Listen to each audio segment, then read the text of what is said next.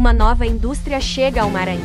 A Impasa está se instalando em Balsas e vai contar com mão de obra local. Essa é a grande preocupação do nosso governo. Não adianta a gente trazer uma grande indústria de outro estado e esses empregos virem de outros estados. A gente precisa contratar mão de obra maranhense. E para isso, nós estamos firmando parceria com a Federação das Indústrias, com o Sistema S, para capacitar essa mão de obra, para que toda a mão de obra da região seja absorvida.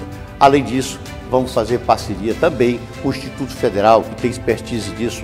Vamos fazer parceria com os institutos estaduais, que são os IEMAS de forma que tudo que for possível nós vamos fazer para capacitar a nossa mão de obra para que os empregos fiquem na mão dos maranhenses. Não abrimos mão disso e para isso estamos preparados firmando essas grandes parcerias.